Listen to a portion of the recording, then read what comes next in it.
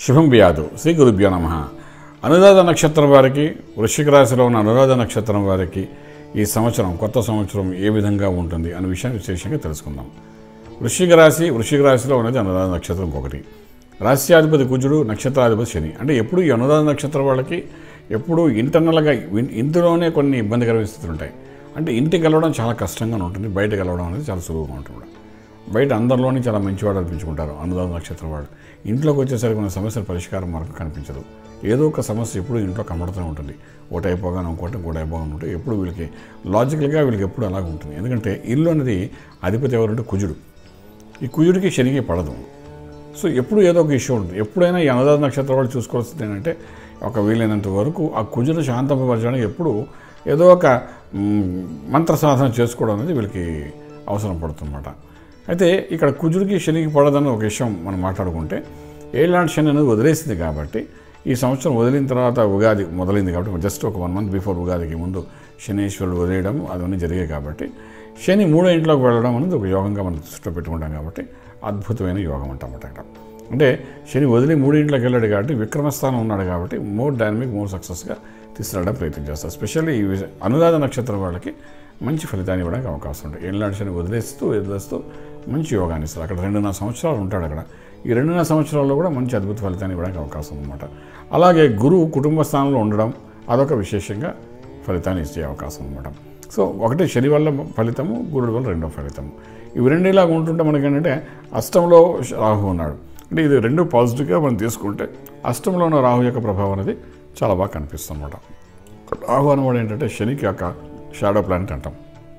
శని shadow planet అంటే శని యొక్క నీడ అని చెప్తాం అన్నమాట అంచేత ఏంటంటే అష్టమరాహు అనేది ఎఫెక్ట్ ఇస్తుంది కానీ మరీ ఎక్కువగా కనిపించడానికి అవకాశం అనురాధ నక్షత్రం కనిపించదు కానీ ఏంటంటే ఆ బాధ ఆ ఇబ్బంది అంటే ఒక రిపోర్ట్స్ వెళ్తాయి మెడికల్ రిపోర్ట్స్ ఒంట్లో పోలేదని వెళ్తాం. రిపోర్ట్స్ చూస్తే అంత నార్మల్గా కనబడుతుంది. ఏదో అయిపోయిందని కంగారు పడతాము ఒంట్లో బాగాలేకపోతే. ఫర్ ఎగ్జాంపుల్ గ్యాస్ట్రిక్ ప్రాబ్లం వచ్చింది అనుకుందాం. వస్తే దానికోసం మనం వెళ్తాం. వెళ్తే వాడు ఏదో సింపుల్ ట్యాబ్లెట్తో క్లోజ్ చేసేస్తారు అన్ని టెస్టులు చేసి టెస్టులకు పదివేల రూపాయలు ఖర్చు అయిన తర్వాత ఓ ట్యాబ్లెట్ ఇచ్చి చాలని ఇంకేం అవసరం అంటారు అంటే ఏంటి? అసలు యాక్చువల్లీ మనకి ఇక్కడ సమస్య చిన్నదే. కానీ ఖర్చు విపరీతంగా జరగడం. ఇలాంటి కొన్ని అస్తమంలో ఉన్న రాహు యొక్క ప్రభావంలో ఒక భయాందోళనని తీసుకుని వచ్చి ఆ భయాందోళన నుండి మళ్ళీ నార్మల్ తీసుకురావడం అనేది ఈ సంవత్సరం చాలా అనువుగా జరుగుతూనే ఉంటుందన్నమాట. సో ఇక్కడ ఏంటంటే రాహు మళ్ళీ మనకు సెప్టెంబర్లో ఎప్పుడైతే వృషభంలో ప్రవేశిస్తాడో అంతవరకు మనకి తప్పదు. విషయంలో ప్రవేశిస్తేనే వీళ్ళు అనుకున్నవన్నీ సాధించడానికి అవకాశం ఉంటుందన్నమాట భార్యాభర్తల మధ్య అన్యోన్యత అనుకోండి లేకపోతే ఎక్కడైనా విదేశాలకు వెళ్ళడం అనుకోండి ఏదైనా ఈ సెప్టెంబర్ తర్వాత రాహు యొక్క ప్రభావం ఏదైతే ఉందో దాని మూలాన ఓ సక్సెస్ అనేది మళ్ళీ వీళ్ళ లైఫ్లో కనబడడానికి అవకాశం ఉంటుంది ఎప్పుడైతే గురుడు మళ్ళీ మనకి ఏంటంటే ఈ నవంబర్ తర్వాత ఎప్పుడైతే మనకు మకరంలో ప్రవేశిస్తాడో ఆ ప్రవేశించినప్పుడు కొంచెం వీళ్ళు అనుకున్న పనులు కొంత బలహీనపడడానికి అవకాశం ఉంటుంది. అలాగే శని అక్కడ ఉన్నాడు కాబట్టి విక్రమంగా ముందుకెళ్ళే అవకాశం ఉంటుంది. ఇలా మనం ఓవరాల్గా తీసుకున్నప్పుడు ఏంటంటే అనురాధ నక్షత్రం వాళ్ళకి ఈ సంవత్సరం అండ్ యావరేజ్గా న్యూట్రల్గా ఉండడానికి అవకాశం బాగా కనిపిస్తుంది అనమాట న్యూట్రల్ అంటే నార్మల్సీగా ఉండడానికి చాలా అవకాశం కనిపిస్తుంది. వీళ్ళు ఇక్కడ ఏం చేసుకోవాలి? సంవత్సరం అంతా ఏం చేయాలంటే ఫస్ట్ హాఫ్ కంటే సెకండ్ హాఫ్ కొంచెం పాజిటివ్గా వెళ్ళి కనబడుతుంది కాబట్టి సెప్టెంబర్ నుండి. సో సెకండ్ హాఫ్కి ఇంపార్టెన్స్ ఎక్కువ ఇవ్వడానికి ప్రయత్నం చేయాలి. ఫస్ట్ హాఫ్ న్యూట్రల్గా ఉండడం ఎక్కువ ఇన్వాల్వ్మెంట్ అవ్వకుండా ఎక్కువ. ఆల్రెడీ మనకు మార్చి వచ్చేసింది కాబట్టి మార్చి నుండి ఏప్రిల్ స్టార్ట్ అయిపోతుంది. April May June July August. ఈ మొదటి హాఫ్లోని కొంచెం జాగ్రత్తగా ఉండగలిగితే బాగుంటుందన్నమాట. తర్వాత వీళ్ళలో ఉన్న రియల్ ఎస్టేట్ రంగంలో ఉన్న వాళ్ళు కానీ లేకపోతే ఫైనాన్షియల్ బ్యాంకింగ్ సెక్టర్లో కానీ ఉన్న వాళ్ళకి మాత్రం కొంచెం పాజిటివ్ ఎనర్జీ కనబడే అవకాశం ఉంది. కానీ ఫిలిం ఇండస్ట్రీలో వాళ్ళకి మాత్రం నెగిటివ్ అదేవిధంగా మీడియా రంగంలో ఉన్న వాళ్ళకి మాత్రం కొంచెం ఇబ్బందికరంగానే ఉంటుంది.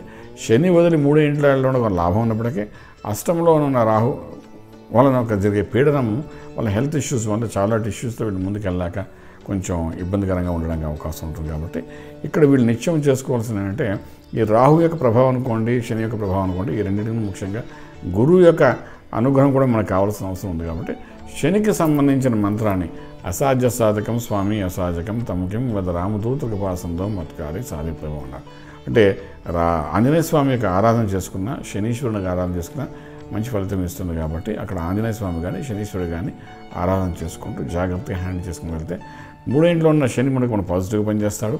శని యొక్క షాడో ప్లానెట్ అయిన రాహు యొక్క ప్రభావం కూడా మనకి పడకుండా ఉంటుంది. ఇవి రెండు కరెక్ట్గా ఉంటే మన అన్ని పనులు జాగ్రత్త వెళ్ళిపోతాయి అన్నమాట. సో ఆ విధంగా చేసుకుంటూ వెళ్ళడం ప్రయత్నించండి డెఫినెట్గా కొంత రిలాక్సేషన్ ఉంటుంది. అయితే ఏళ్ళనాడు శని వదిలేశాడు కదా అని చెప్పేసరికి అష్టమ్రహం మనం పట్టుకుని ఉన్నాడు కాబట్టి మనం బయట ప్రయాణాలు చేసేటప్పుడు కానీ హెల్త్ ఇష్యూస్ ఏమైనా వచ్చినప్పుడు కానీ చక్కగా మీరు మెడికల్ డాక్టర్ని కలవడము రిపోర్ట్స్ తీసుకోవడం టెస్టులు చేసుకోవడం మాత్రం ఈ సంవత్సరం మర్చిపోకండి. రక్తానికి సంబంధించిన ఒక సమస్య వస్తుంది. దిగువ భాగం నాభిక దిగువ భాగంలోని కొన్ని సమస్యలు వస్తాయి చెడు ప్రభద ప్రదేశాలలోని. సో వాటిని రెక్టిఫై చేసుకోవడం మాత్రం ప్రయత్నం చేయండి. చేసుకోకుండా పర్వాలేదులే అని చెప్పి వదిలేస్తే మాత్రం ఆ పుండే పెద్దది. మనకు రేపు ఉదయం ఇబ్బంది పెట్టే అవకాశం ఉంది కాబట్టి అటువంటి విషయాలు జాగ్రత్త తీసుకోండి. డెఫినెట్గా రాజమార్గంలో రాజ్యం పొందగలుగుతారు. శుభం వ్యాధి. పూర్తి వివరాలకు సంప్రదించండి. శ్రీ వేదమాత గాయత్రి జ్యోతిష్యాలయం. Brahma Srimantha Suryanarayana Sharma. Srinilayam first floor one not one. Sai Vaibhav layout Chitrapuri colony Khajaguda Hyderabad five lakhs eight. సంప్రదించవలసిన phone numbers triple eight triple five nine one four seven. Triple eight triple five nine one four eight. Nine eight four triple nine six triple four.